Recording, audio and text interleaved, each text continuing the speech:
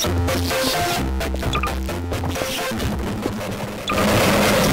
of the princess to invite us over for a picnic, eh, Luigi? I hope you made lots of spaghetti. Luigi, look!